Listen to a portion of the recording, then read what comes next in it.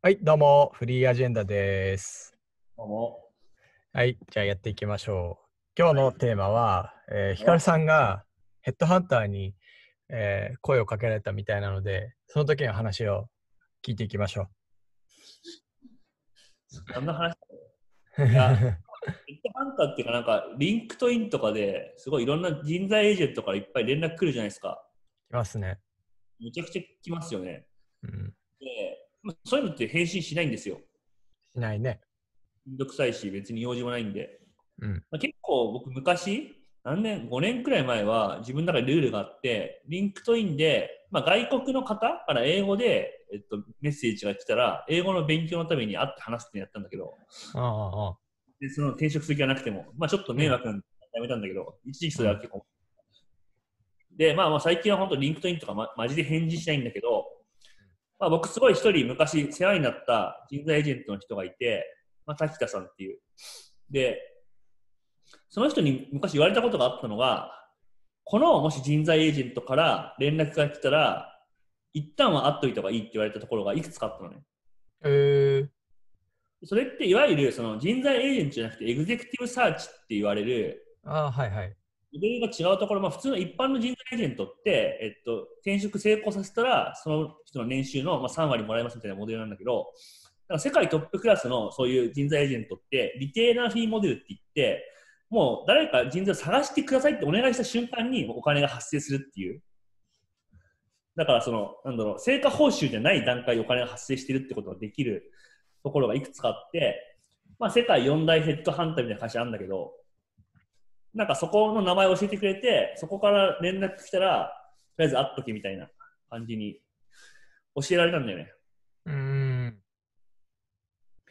で今回まあそのうちの一社から連絡来たんであこれはなんか特に用事はないけど会っとかなきゃいけないらしいやつだって思ってうんえっと、話っていうでもまあ今この状況なんでオフラインで会うのはあれなんで、まあ、普通にズームで話したっていう話なんですよ。ほうほうほうほ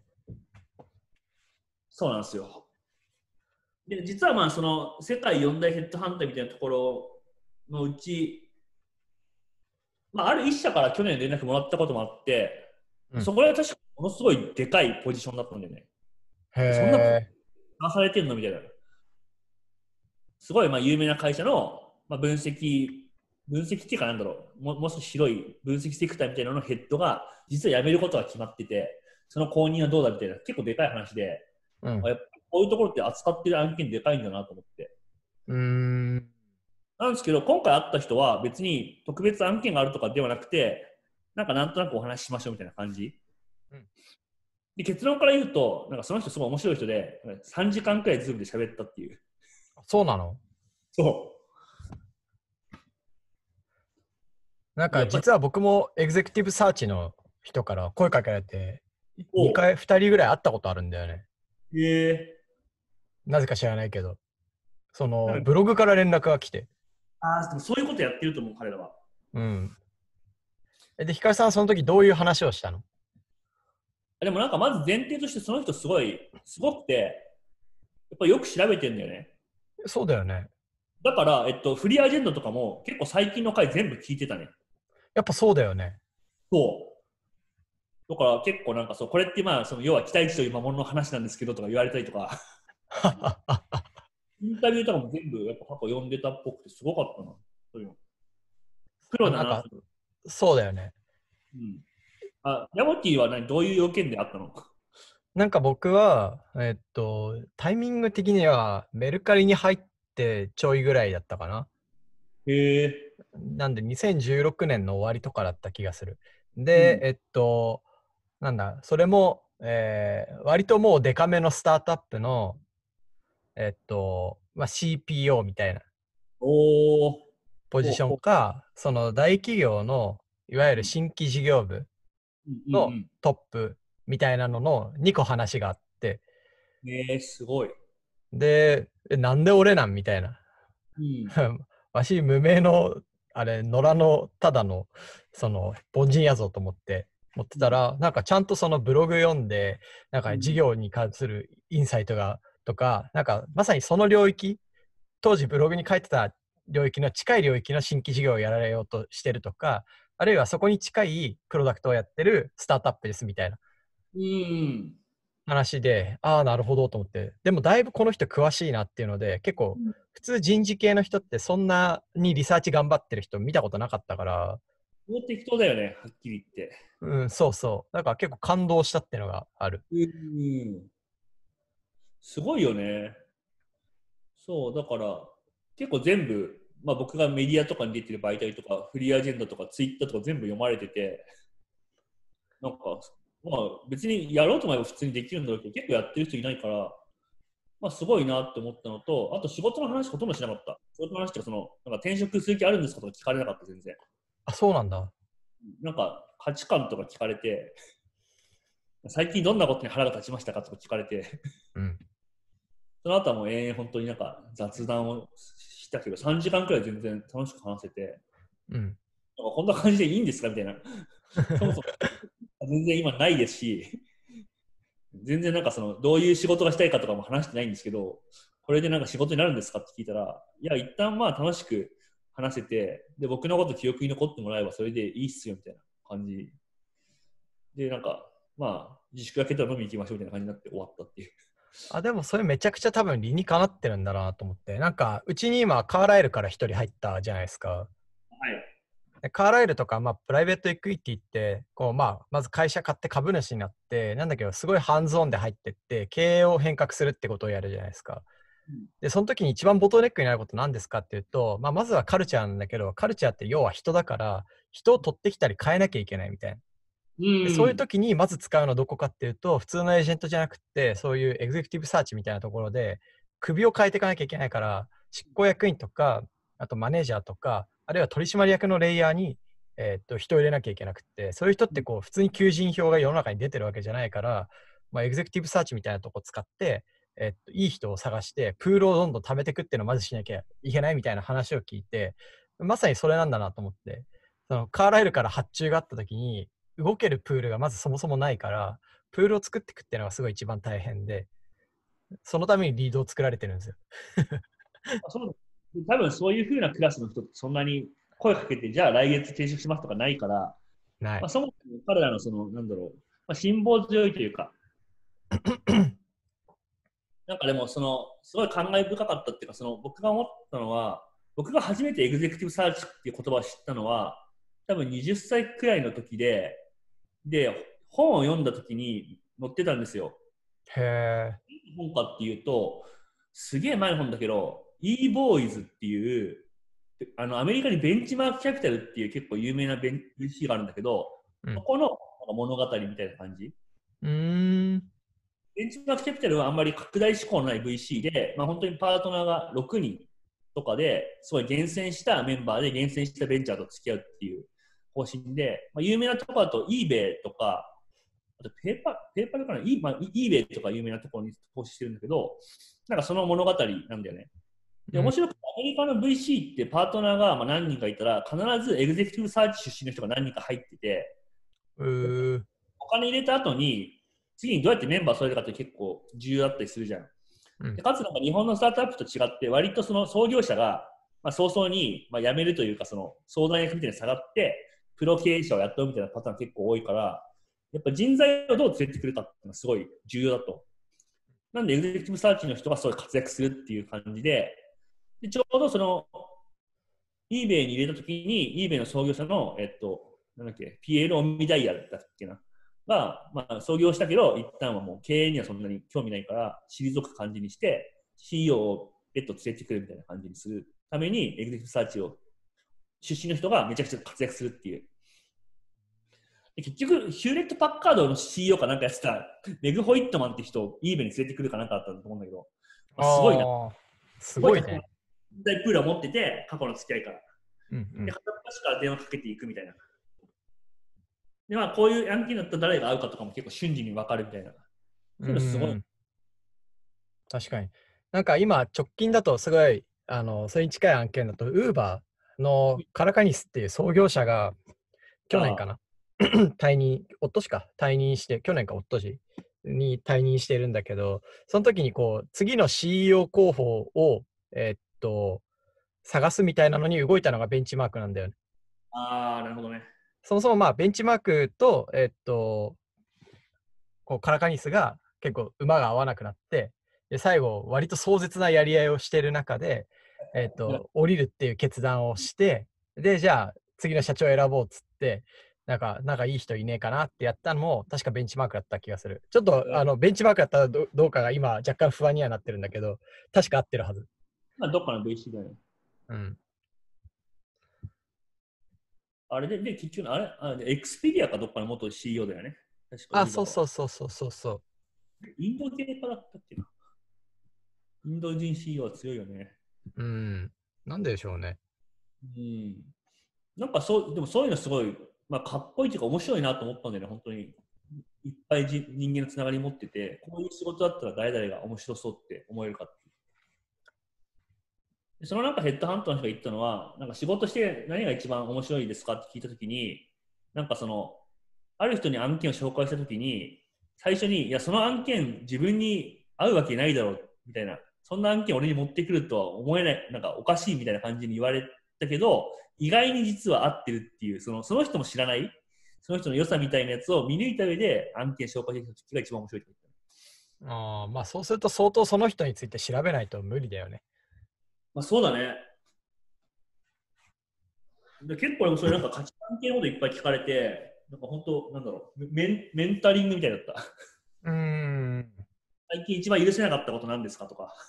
ああ。ちなみに何なのそれ、答えは。あのね、まあ2個あるんだけど、まあ面白い方で言うと、ティッシュペーパーのボックスの柄。はあ。なんで、でダサいじゃん。まあ、ダサいよ。置けないよね。ダサいだけならまだしも、ダサくて、そのいわゆる、なんだろう、ティッシュペーパーずっと作ってる会社って、それをずっと続けてるんだよね。それが当たり前だと思って。でも、視聴者には見えないんですけど、山本さんこれ見てください。おおー美しい。真っ黒で何の柄もない美しいティッシュボックスが僕の手元にあるんですよ。これ、セブンイレブンのプライベートブランドなんですよ。素晴らしい。セブンイレブンって別にティッシュなんて多分本当にここ1年で作ったくらいの会社だと思うんだけど、うん。これが出てくるんで、ね、僕はこれがすごい好きなんだけど、うんうん。これは何でティッシュ専業の会社が作らなかったんだろうなって思って、うんうん。なんかまあ多分ずっと同じことを繰り返してるっていうのがけやっぱ結構でかいんじゃないかなってなんとなく思ってて。ああ、惰性の商売しちゃってるのね。まあ、セブンイレブンがどういうあの意図でこの真っ黒な、すごいシンプルで美しいティッシュボックスを作るに至ったかは僕はあんま分かんないけど、まあでもやっぱりその、か型にとらわれず、彼らのやりやり方っていうのを考えたらこうなったっていうのがあるんじゃないかな。っそうだね。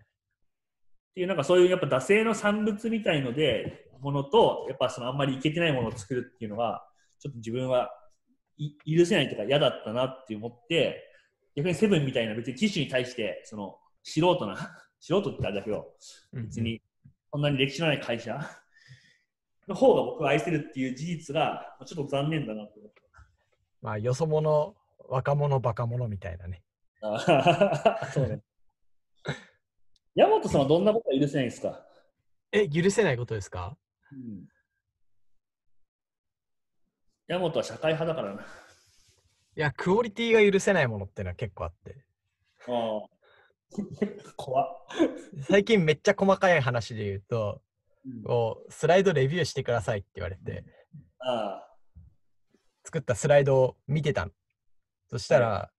なんかそもそもページごとにフォントが全部ルールが違ってたりとか、あアライメント揃ってなかったりとか、上下の同じようなマテリアルのアライメントが揃ってないとか、なんか色めちゃくちゃ使ってるとか、矢印適当とか、なんだろう、一貫性とか、あとは見る人のその視認の負荷を下げるっていうことに、一切気の配られてない状態のものとかを見たときに、これをうちの会社の資料として出すのかっていうので、めっちゃ憤ったことがありました。あの許せないから、めちゃくちゃ細かいレビュー入れて、まあ、相当嫌だったと思うんだけど、うん。でもなんかそれをスタンダードにすべきだってみんな言ってくれたから、あの今そういうテンプレのルール作りとか、まあ、なんかデザインシステム作ったりとか、そういう方向に走ってんだけど、それなんか自社のアウトプットだから許せないの？それともそのそもそもそういう資料が許せないの？うーん、我が社の人間が作ってるっていうのが許せない。ああ、なるほど。そう。10X の一人って誇り高い仕事だぞみたいな。クオリティはコントロールというか、ブランディングの話なのかな。いや、でもさ、それ外向けの資料じゃなくても同じなのよ。なるほどね。そう。ほ中向けのドキュメント書いてるときに、例えばインデント超、その5インデントぐらいしてて、めっちゃ斜めになってて、すげえ読みづらいドキュメントとかも、許せねえみたいになって、えこれは読む人のにこと考えたかとか、あのうんなんか本当にその、アウトプットのクオリティで人ってほとんど評価されるはず。だから、うん特にこういうリモートもそうだし、我々みたいな新参者なんて、その信頼がないところから始まるから、う。アウトプットがいか全てだと思って、多分やってきたんだろうね。そういうのが染みついてるからか、これを出せるわけがないだろうっていうものを見ると、まあ、なんか、なんだろうね。外向けだろうが内向けだろうが、こう、許せない気持ちが出てくる。あれも内内向けでも徹底するっていうのはなんかすごいいいことかもしれないね。うん、内向けの方が大事かも、むしろ。だからぶ、まあ、単なるブランディングっていうか、本当にもう、スタンスとか哲学の問題として考えてあ、そうそうそう、そう、哲学ですね。まあでも、あれだよね。大企業と仕事すると大変だよね。あのなんでこんな資料作れるんだろうっていうレベルの資料いっぱいあるじゃん。あ、いっぱいある、すごい、ひどい。真っ黄色な円円とか。なんか、こう、なんていうの、ギザギザの吹き出しで、150%アップみたいな。あと、この前びっくりしたのは、なんか、バーのチャートを、軸もあのオブジェクトで書いてて、バーもオブジェクトで書いてる やつ送られてきて、あの、あ顎がもう閉じなくなったね。開いた口が塞がらないっていう。うん。でもなんだろう、まあ、僕は資料にすごいこだわりあるんですよね。まあ、コンサルファーム育ちなんで、すごい自分に自信もあるけど、でも、ヤマティは資料すごい上手だよなと僕から見ても思う。あれ、どっから出てきたの？あれは UI を、プロダクトの UI を作ってきたからですね。ああ、なるほどね。プロダクト、ななんか、プロダクト UI をデザインするために学んだ知識がそのまま資料に生かされてるって感じ。うん。確かに。うん資料のこだわりの話で一本取れそうだな。一本取れそうだね。それ次回しよっか。あれ？これもともと何の話だっけ？あ、ヘッえ、ドハンターだ。わかんねヘッドハンター。全然関係あれ？なんでこうなった？え。わかんない。最近これめっちゃ多いよな。なんかでもその、この話の飛び方やっぱすごい重要だなと思ってて、うん。なんかやっぱ人間の頭ってこう、活性化してるときは、好きな方向にボールを投げることができるみたいなのがあるんだよね。で、そのボールを投げて、そこに行って、もう一回拾って、また別の方向に投げてっていうのを繰り返していると、まあ、とんでもない場所にたどり着くっていう。それがまあいわゆる発想力って言われているもの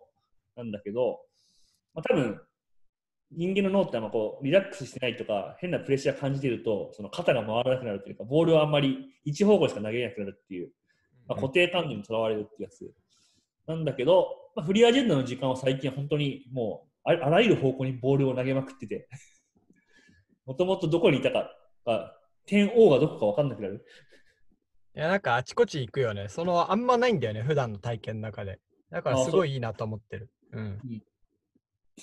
毎回思い出すだけなんでそのそう。いや、なんかちょっと余談なんだけど、家庭の中でさ、なんかうちの妻が何とかって質問されたときに、なんか勝手にこっちでこう覚え巡らして、リラックスしてて、あ違う方向にボール投げたりして返すと、いや、イエスかノーで返してとかって言われるんだよ。し そう。家の中でも気が抜けないという。ちゃんとしてるね。ちゃんとしてんのよ。本当にね、もうちょっとふぬけてほしいんだけど。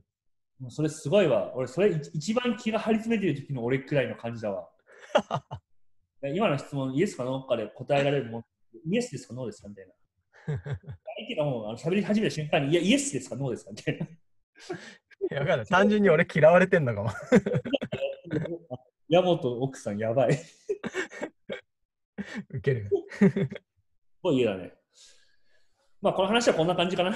はい。じゃあ、あの、みんなもヘッドハンターから声がかかったら、ぜひ、ズームで話してみてください。では、います。ありがとうございます。